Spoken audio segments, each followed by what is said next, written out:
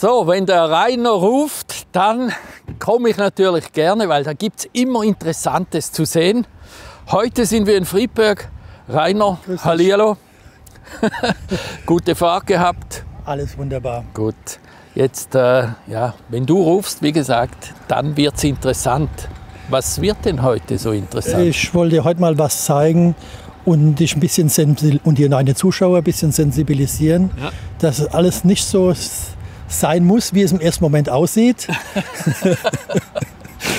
dass auch im Anschein nach ein kleiner Schaden doch ganz große Folgen haben kann.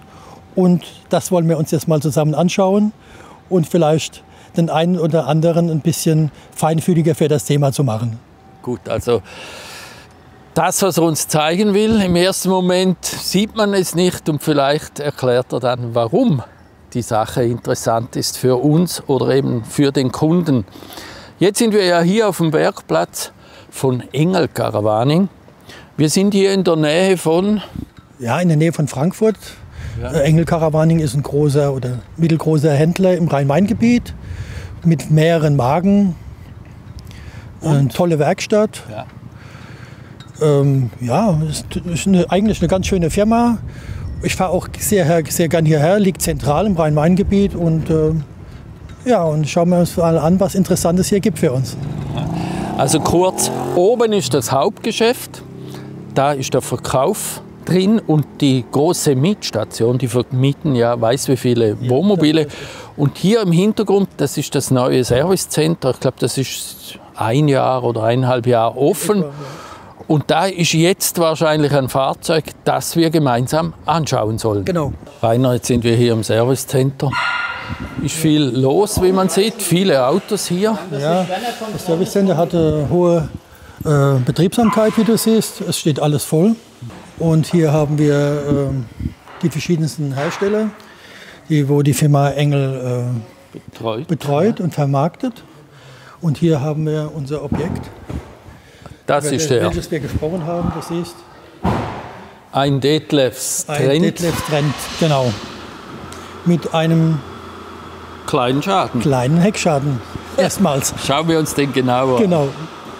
Ja, Rainer, wegen dem kleinen Teil, dem kleinen Schaden, rufst du mich an. Ja, ich habe gedacht, auch kleine, auch kleine Sachen können schön sein ja. oder interessant. Hier haben wir einen Anstoß beim Fahrzeug hinten links. Das, was den Schaden interessant macht, ist, dass der Schaden diagonal ist. Also das Fahrzeug wurde aus dieser Richtung getroffen. Also da, wo die Kamera ist, von der Seite kam anscheinend ein Fahrzeug, genau. hat die Ecke touchiert und jetzt sieht es so aus. Ganz genau. Die Schwierigkeit an so einem Schaden ist, wo sind die Schäden oder sind überhaupt Schäden vorhanden? Ja. Ist das Fahrwerk in Ordnung? Ist der Aufbau verschoben? Das ist jetzt zu klären. Ich habe gesehen, du hast einen Koffer dabei. Du gehst da mit dem Koffer zum Kunden und dann muss ja irgendwas im Koffer sein, wo du dann halt eben deine Analyse machst. Genau. Da sind verschiedene Werkzeuge drin, von Lackschichtdickenprüfer, um es festzustellen, ob schon Vorschäden am Fahrzeug waren. Das muss ja auch dokumentiert werden.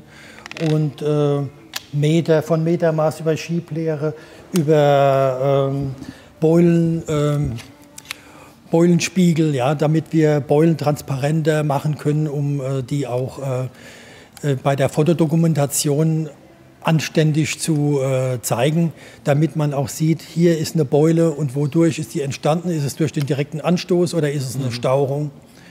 Das, für solche Sachen habe ich die dabei. Bevor ich aber anfange, schaue ich mir das Fahrzeug erstmal an was habe ich denn hier überhaupt für einen Schaden, was für ein Umfang ist es. Wie gesagt, im ersten Anschein ist es so, dass ähm, nur die Stoßstange und die Blende hinten beschädigt ist. Und jetzt fahren wir fort und schauen, ob da noch vielleicht irgendwo versteckte Mängel oder Schäden sind, die wir im ersten Anschein hier nicht sehen. Mhm. Also wie gesagt, momentan sieht es noch ziemlich einfach aus. Also, ja.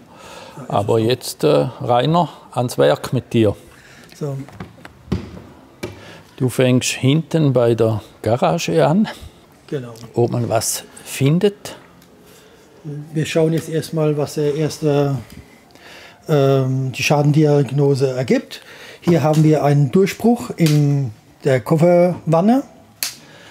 Und was man natürlich gleich sieht, hier ist das Holz aufgebrochen. Und hier haben wir, die Kantenluft ist, viel, äh, ist verändert. Das bedeutet, dass die Rückwand mit verschoben ist durch die Kofferraumwanne. Das ist bei diagonalen Anstößen öfter so. Man muss vorstellen, der Kraftverlauf geht von links nach rechts in dem Moment. Und das bedeutet natürlich, wir müssen suchen, ob es hier irgendwo Verzug oder Spannungen gibt. So, auf der anderen Seite haben wir auch was. Hast du da schon was gefunden? Ja, ich schaue mir erstmal, ob die, die Maße die gleichen sind. So rum, Entschuldigung. Ja, wir haben hier einen größeren Ausschnitt. Das bedeutet ja, dass die Tür mitgestaucht ist. Und wir schauen uns die Kanten an und stellen fest, so, und wenn wir hier reinschauen, siehst du hier, da ist sogar die Schraube. Die Schraube, die Schraube ist rausgerissen. Ist raus? Hier ist die Schraube rausgerissen. Ja. Hier oben ist aufgerissen. Und hier haben wir durch den Druck von links nach rechts ist die Rückwand total aus. So, jetzt komm mal mit, wir gehen mal rein und schau mal, ob die Möbel noch dort sind, wo sie hingehören. Im ersten Moment sieht man hier auch nicht wirklich viel. Ich habe schon alle Klappen und ähm, Türen aufgehabt und in den Schränken geschaut, ob irgendwo ein Verzug ist oder ob was ausgebrochen oder ausgerissen ist. Ähm, hier haben wir an der Stufe, wenn man sich hier mal genau schaut, ist es hier aufgegangen. Hier ist er wieder geschlossen. Und dasselbe habe ich hier an der oberen Kante, die steht hier komplett auf und ist hier zu. Normalerweise liegen die beiden an, das ist durch den Druck von der Außenhaut. Das, das heißt, die Möbel müssen wieder in Ausgangssituationen gebracht werden und wieder befestigt werden. So, jetzt gehen wir mal rausgucken. Es muss ja auch einen Grund haben, warum die Möbel verschoben sind. Der Rainer war natürlich schon mal da und hat das Auto schon mal angeschaut. Darum weiß er, wo was eben verschoben ist oder eben kaputt ist. Aber normalerweise gehst du einen anderen Weg. Du schaust erst außen, wo die Beulen sind, dann weißt du ja automatisch, wo innen was beschädigt sein sollte. Ja, wenn so was kaputt konnte. ist oder könnte. Ja, wie gesagt, ich war die Woche natürlich schon mal hier und habe das Fahrzeug besichtigt. Und deswegen habe ich auch gedacht, das wäre was Interessantes für dich oder für die Zuschauer, um zu sehen, dass nicht alles im, Anschein, so im Schein ist, wie es im ersten Moment aussieht, sondern dass auch ein Schaden wesentlich größer ausarten kann als im ersten Moment gedacht. Das heißt, jetzt sind wir als erstes auf Beulensuche. Ich sehe da schon mal eine Beule. Da genau. würde ich jetzt Ihnen auch schon beim Kästchen suchen, ob da irgendwas kaputt ist. Du hast natürlich noch ganz anderes gefunden. Ja, genau. Also durch die Aufstauchung hier unten hat sich die Seitenwand hier eingedrückt, ist eingefallen durch die hohe Spannung. Der Beulenspiegel. Mit dem können wir das ganz schön dokumentieren. Normalerweise, wenn ich das jetzt an einen Lack halte, spiegelt der Lack sich ja. in Linien gerade. Und wenn irgendwo eine Beule ist, sieht das Ganze auf dem Lack aus wie ein Astloch. Aha. Ja, wir können das vielleicht mal hier so zeigen. So. Ja, und jetzt machen wir das. Wir schießen ein paar Fotos, die seht ihr jetzt. Und dann seht auch ihr, wo eben die Dollen sind oder eben die Einschläge. Genau, oder wo die Aufstauchungen sind. Ja, genau. Ja, jetzt hast du sehr interessant gezeigt, wie man eben, ich, ich habe da gar keine Beule gesehen, aber wenn du da mit diesem Matrix-Spiegel Matrix, ja.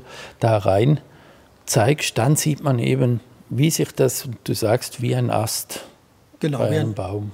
Genau, wir haben ja hier eine, eine Aufstauchung, die sieht man auf Weiß natürlich sehr schwäch. Aha. Und äh, mit der Matrix kann man das ganz schön zeigen und dokumentieren und auch fotografieren, damit man das ganz deutlich sieht. Okay. So eine Aufstauchung ist natürlich nicht zu reparieren. Äh, letztendlich bleibt hier nur der Ersatz der gesamten Seitenwand, mhm. was natürlich auch sehr aufwendig ist. Und ähm, schauen wir mal, ob wir noch irgendetwas finden am Fahrzeug, weil wenn das Fahrzeug diagonal eine Aufstauung hat, könnte es natürlich auch sein, wenn der Aufbau nach rechts gebogen ist, ja. dass wir noch irgendwo etwas finden könnten, das den Schaden noch mehr erhöhen wird. Mhm. Also innen haben wir jetzt das gezeigt, da sind Verschiebungen da von genau. dem Möbel. Wir sehen da die Dollen überall. Jetzt wahrscheinlich muss man jetzt mal noch das Auto heben, dass man da auch noch irgendwas sieht. Ich sehe mir das und, Fahrzeug erstmal Und jetzt nochmals zu diesem Matrix. Äh, bei Hagelschaden wendet man das auch an? Genau, der ist eigentlich ähm, dafür erfunden worden, mhm. um kleine Beulen sichtbar zu machen und zu dokumentieren. Und natürlich bei solchen Schäden, wo auf der Fläche sind kleine Aufstauungen, die man auch schwer sieht, sind mit der Matrix natürlich super gut äh, zu, zu finden und zu dokumentieren. Mhm. Und die Firma Stumpf, die macht auch Hagelschäden, alles, was mit natürlich. Schäden zu tun hat. Alles, was mit äh, mechanischen Einflüssen auf das Fahrzeug zu tun hat, das machen wir. Gut, dann lassen wir den mal rauf und schauen, wie es unten aussieht. Der Rainer hat jetzt weiß wie viele Fotos geschossen mit Blitzlicht, damit man es auch richtig klar sieht. Du machst solche Fotos, um dann eben dem Kunden zu zeigen, was effektiv kaputt genau, ist. Genau, ist ja so ein Gutachten ist ja eine reine Beweissicherung. Das heißt, ich, ich sichere die Beweise um den Schaden und die Schadenhöhe äh, aufzuzeigen bzw. zu dokumentieren in einem Gutachten. Mhm. Und äh, der Versicherer oder der den Schaden zahlen muss, äh, hat ja Anspruch darauf, das so dargelegt zu bekommen, dass es für ihn nachvollziehbar ist. Und das ist unsere Arbeit. Aber wer schlussendlich entscheidet, ob es ein Totalschaden ist, das ist wer? Das bin ich. Du sagst das? Genau, ich, ich äh, ermittle den Wiederbeschaffungswert ähm, dann äh, setzen wir den Schaden entgegen. Das hatten wir ja schon mal. Mhm. Und dann sehen wir, wie hoch ist der Wiederbeschaffungswert, wie hoch ist der Schaden. Dann gibt es auch noch sogenannter Restwert, der wird auch noch einfließen lassen. Und dann entscheidet man, ist es ein technischer Totalschaden, ist es ein wirtschaftlicher Totalschaden oder ist es ein Reparaturfall. Das ist von Fall zu Fall unterschiedlich. Weißt du bei dem Auto schon was? Ähm, ja, wenn wir, wenn wir genau hinschauen, wir haben eine zerstörte Bodenwanne, der Träger ist verbogen. Hier, der ist auch etwas durchgebogen sogar. Wenn wir hier rübergehen, siehst du sogar, dass die Schrauben hier rausgerissen hat. Mhm. Und die Rückwand ist eingedrückt hier, hier und hier. Das heißt, die muss auch ersetzt werden. Das ist ja eine gefüllte Rückwand, also eine, ein Sandwich-Element. Mhm. Und äh, das kannst du nicht instand setzen. Das heißt, die Rückwand muss auch ersetzt werden. Und ja, das summiert sich dann ganz erheblich und schauen wir mal, was zum Schluss rauskommt. Hast du vorne, also unten, sieht man da auch noch was? Vorne ist nichts mehr, nein. Da ist nichts mehr? Nein. Das ist ein reiner Aufbauschaden, aber ähm, man sollte halt nicht unterschätzen. Die Teile sind äh, sehr, sehr teuer und äh, die Reparatur, der Reparaturweg ist ein aufwendiger. Das heißt, um an A dran zu kommen, musst du B, C, D und E äh, ausbauen. Und ähm, ja, da ergibt sich das eine zum anderen und ähm, dann hast du gleich viele Reparaturstunden zusammen und die addieren sich dann schnell zu einem, wenn es schlecht läuft, wirtschaftlichen Totalschaden. Und jetzt der Kunde, der wartet natürlich jetzt zu Hause, lieber würde er rumfahren, aber jetzt muss er abwarten, was du sagst.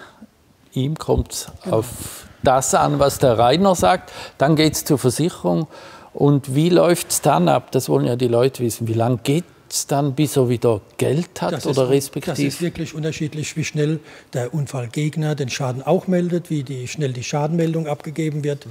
Das ist eine Sache, da haben wir keinen Einfluss drauf. Wir sind wirklich nur in erster Linie da, jetzt äh, die Ersatzteile herauszusuchen, schauen, in welchem Umfang die Ersatzteile äh, erneuert werden müssen. Mhm und das Ganze zusammenzurechnen und zu sehen, ist es noch wirtschaftlich oder nicht, so einen Schaden wieder zu reparieren. Das war jetzt die Arbeit vom Rainer heute bei diesem Fahrzeug. Er fährt von Ort zu Ort und ja. schaut sich die Sachen an. Wir haben ja schon mal was gezeigt, das sah dann ein bisschen schlimmer aus, genau. aber wir reden hier von einem Totalschaden, wobei man eventuell, eventuell obwohl man hier noch sehr wenig sieht.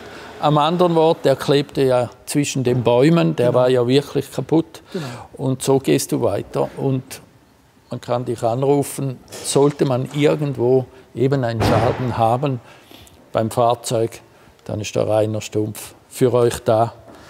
Ja, an dieser Stelle hat mich gefreut, war wirklich interessant. Wenn man das Auto so sieht, denkt man, ja, diese Bagatelle, warum macht man da ein großes Gabaret? Aber wenn man reinsieht, dann sieht es ganz anders aus. Alleine schon, ihr habt es gesehen bei diesen Fotos, wo man halt plötzlich einen Ast sieht, wo normalerweise gerade Linien runtergehen, sein sollten. Sein sollten. Das, deswegen habe ich auch gedacht, dass es vielleicht ganz interessant wäre, ja. auch einen unscheinbaren Schaden mal ein bisschen mehr ins Licht zu rücken und zu sehen, oh, da hängt doch mehr hinten dran. Ich rufe doch lieber jemand, der sich damit auskennt, um eventuelle Schäden oder Spätfolgen äh, auszuschließen. Genau. Das ist also ein gescheiter Schritt, das Auto irgendwo in einer Werkstätte abstellen und dann zuerst dem Rainer Stumpf anzurufen. Man soll auch dazu sagen, wenn man nicht schuld ist am Schaden, bezahlt immer die gegnerische Versicherung das Gutachten. Also ihr müsst nicht in Vorlage treten, äh, wenn der Schadenfall klar ist, wenn äh, der Verursacher eindeutig schuld ist, ähm, muss die gegnerische Versicherung unser Schadengutachten auch übernehmen. Das ist von unserer Rechtsprechung so gewollt und auch wird so auch durchgeführt. Gut, und wenn ihr vorher ein Geräusch gehört habt, das war ein Keilriemen von einem älteren Fahrzeug, muss auch geflickt werden. Das hat aber nichts mit diesem Fall zu tun. Rainer, vielen Dank.